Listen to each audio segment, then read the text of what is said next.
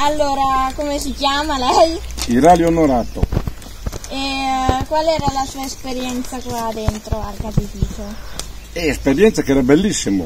Ah, ci aiutavo ad andare per latte, andavo facevo, ci aiutavo a fare il formaggio e per me è una cosa bellissima perché è stata.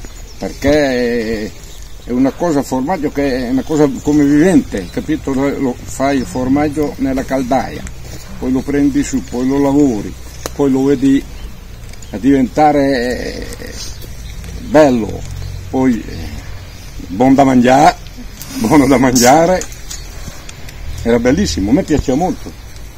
E mm, praticamente quanti anni ha lavorato in questo? Ma ci avevo lavorato una decina di anni, perché sono andato vent'anni ci avevo, una decina di anni. Praticamente come ehm, che formaggi producevate? Qua facciamo il grana, il parmigiano.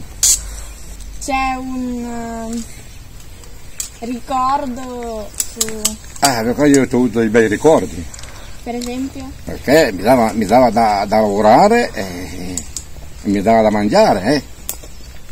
Allora, era una struttura importante per, per Palanzano? Beh, eh, senz'altro, venivano a prendere il burro, venivano a prendere il formaggio, eh, andava bene allora, eh.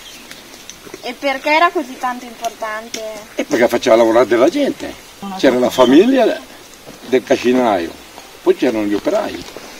Quanti operai c'erano per le... E c'ero io e un altro, ma di solito c'ho sempre io. Ok. Poi andava dentro, andava nelle, nelle bacinelle di, in acciaio inossidabile. Di lì al mattino si toglieva, si mettevano i vasconi di, di- di rame e si faceva il formaggio. E invece tipo là... E qua, là c'era, c'era il garage, poi c'era il granaio per dare da mangiare ai maiali.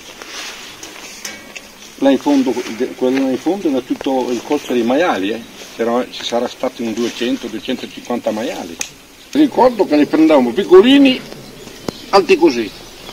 E poi dopo le- le- ci davamo da mangiare, era bello vedere anche l'animale a crescere. eh.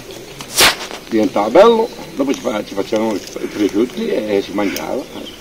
Quindi lei ha iniziato eh, a che età a lavorare? A 20 anni? Eh, qua sono stato 20 anni, 20-21 anni. E per esempio un momento che rende, cioè l'ha reso orgoglioso, A me sì, perché a me piaceva fare questo lavoro.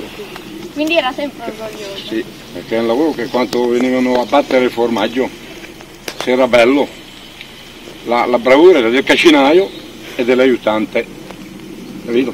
Se andava male, allora si vede che erano stati capaci di lavorare bene. Era bellissimo, a me piaceva molto. E quante ore lavoravate al giorno? Alle ore, sette giorni su sette. Quindi tutti Stavo su, stavo su al mattino alle 5, che allora non c'era mica a fare 8 ore e poi si veniva a casa, no? E si facevano le ore che si voleva. Eh, in un giorno quanti giri facevate? E andavo Zibana, Trevignano, Isola, Caneto, Palanzano, Selvanizza, E quindi dappertutto. andavamo dappertutto. E il giro era, scusate, per prendere il latte. Sì. E poi Io, io facevo Caneto, Trevignano, Zibana, Isola e poi venivo a casa. L'altro facevo Palanzano, Selvanizza e basta.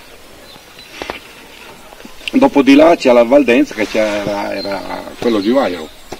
Un po' la struttura come Beh, la struttura adesso si vede che è malmessa. Da sotto c'era, c'era lei quando si poteva mettere dentro il formaggio a- nella sala mola, che veniva il, sa- il formaggio fresco. Poi dopo le mettiamo sui scaloni, là c'è tutto il formaggio, e sotto ci mettiamo il formaggio. Sopra c'era l'appartamento e qua c'era la sala dove, dove facevamo il formaggio. E nell'appartamento chi viveva? E il calzinaio. Okay. E quindi sotto c'era la stagionatura invece? La stagionatura. Quindi quelli sono gli appartamenti dove vivevano? Sì, di, di sopra è tutto l'appartamento. Chi li ha insegnato a lavorare? Cioè... Beh, il casinaio. E... Il mio padrone era. Ah, poi non c'era mica tanto da imparare perché prendi sul camion andavi a fare il giro del latte. Eh? Allora si pesava il latte si teneva sulla bilancia, poi si pesava gli etti, 20 e un etto, 22 etti. Okay.